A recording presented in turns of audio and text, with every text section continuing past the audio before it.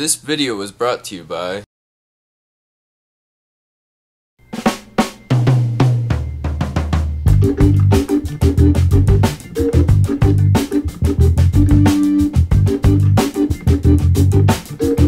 Welcome to part two of sheet metal art for beginners. In part one, I showed you how we take 3 8 inch steel rod and bend it to make these cool shapes. If you missed it, click this link right here and go check that out.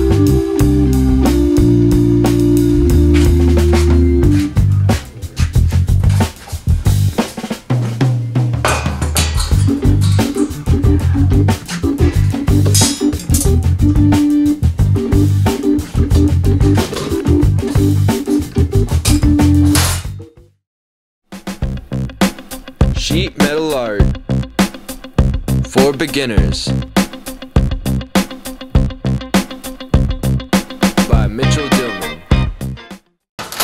In this video, I'm going to show you just how easy it is to take 18 gauge sheet metal, cut it, form it, and weld it to make cool art just like this.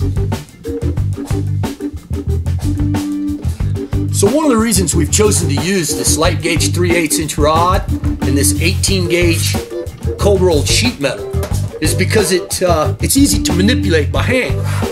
You can pretty much bend it by hand without the use of heat or expensive tools. And all you need is this 18 gauge shear to cut it.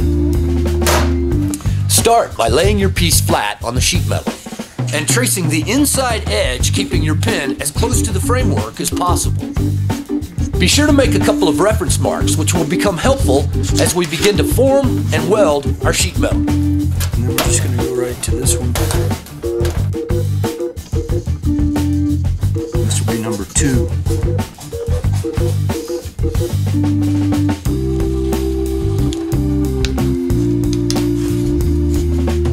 I always try to mark my shapes close together to eliminate waste. Now for this convex shape, it's a little different. For that, we're going to take this construction paper and make us a little template. Using a pencil or a piece of chalk, mark the inside edge of your framework. Tape the construction paper with the flat edge aligned to the bottom of your piece. Now just roll and press the construction paper to transfer your mark.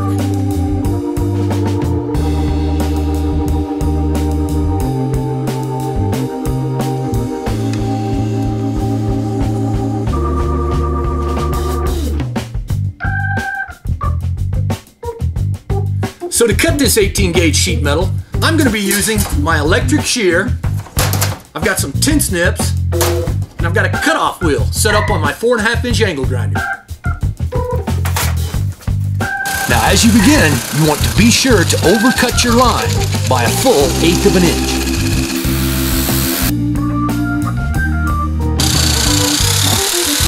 You can use your tin snips, but these electric shears will sure save you a bunch of time. Now that we've got all four of these pieces cut, it's time to start shaping and forming them to fit. We're gonna start right here the front.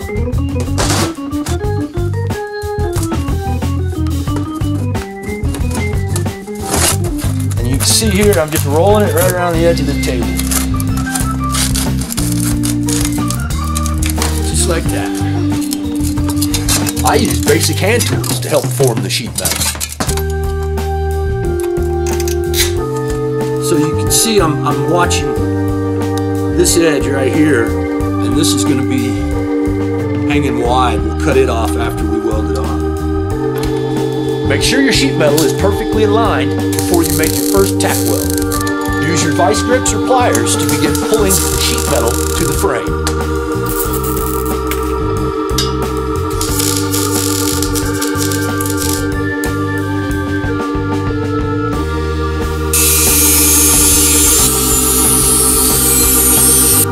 Start your tack weld on the solid frame, drawing your pool to the sheet metal. All right.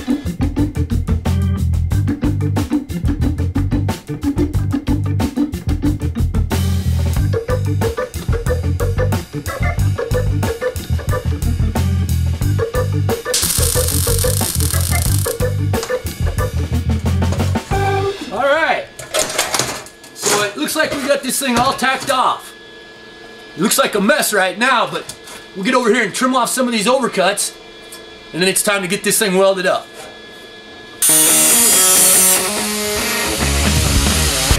To avoid burning a hole in the sheet metal as you weld, be sure to direct most of the heat to the framework.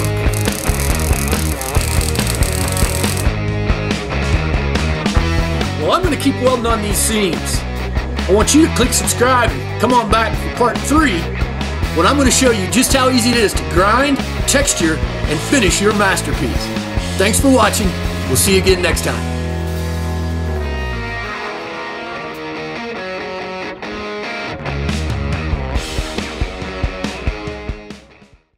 Hey, thanks for watching. If you want to learn more about MIG welding or sheet metal art for beginners, be sure to come see me live over at Google Helpouts.